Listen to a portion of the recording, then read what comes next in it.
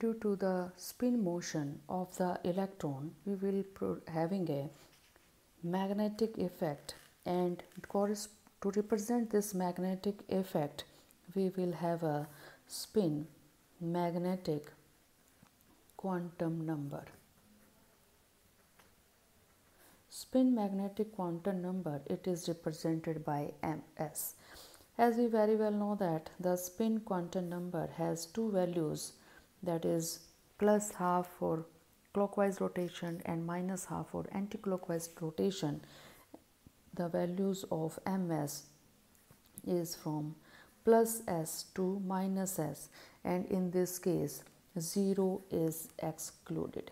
We will not include 0 in this case as we have included 0 in our orbital case. For this ms is equal to plus s to minus s. Let us give an example. When s is equal to half the ms have two values plus half and minus half. And the orientation of the spin again it is given with the help of applied magnetic field. If this is applied magnetic field and this is our spin angular momentum according to quantum mechanics which is given by s star h cross and this is the angle theta made with the applied magnetic field.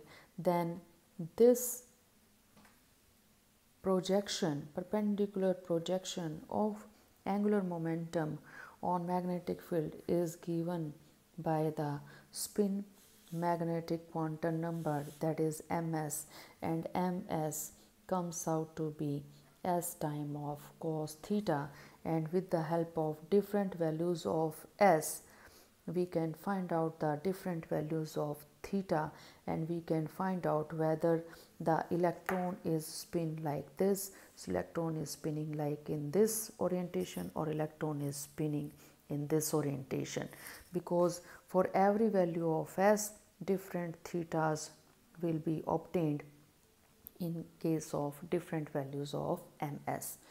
The last quantum number that is the combination of orbital magnetic quantum number and spin magnetic quantum number is our total magnetic quantum number. Total magnetic quantum number again it is obtained with the help of total quantum number which is given from L plus S to L minus S.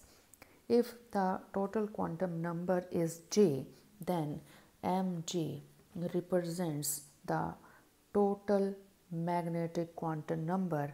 And again mj is given by j cos theta where j is your total quantum number.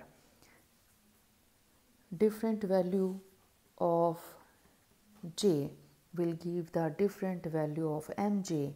And if j is an integer it and value of mj is from plus j to minus j including 0 and if mj is not an integer it is an half integral then we will exclude this 0 in case of if j is equal to half then mj will have only two values plus half and minus half. In this that case we will not include 0 similarly if we have j is equal to 3 by 2 then we will have mj is equal to from plus 3 by 2 to minus 3 by 2 including all the half integrals that is plus half and minus half. In the half case or half integral we will exclude 0 otherwise for integers we will include 0 hence there are total 7 quantum numbers and these 7 quantum numbers gives us the position the for example when n is equal to 1 we know that very well know that it is in the k shell and what will be the energy and how at how much distance the electron will be find out from the nucleus. For example if n is equal to 3 and for l is equal to 2 we can easily find out the electron will be in this suborbit that is your d subshell.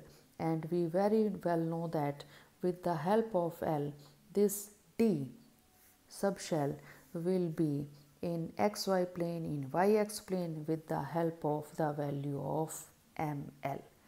Similarly, if the electron in D is moving in clockwise motion with in this orientation or in this orientation or in this orientation we can easily find out the orientation of spinning electron with the help of ms the total influence of the orbital motion that is the vector quantity which is representing with the help thumb rule which is we are indicating as pl and the spin motion which is represented by spin angular momentum as both are vector quantities we uh, obtain a total vector or resultant vector from L and S and that vector is our total quantum number.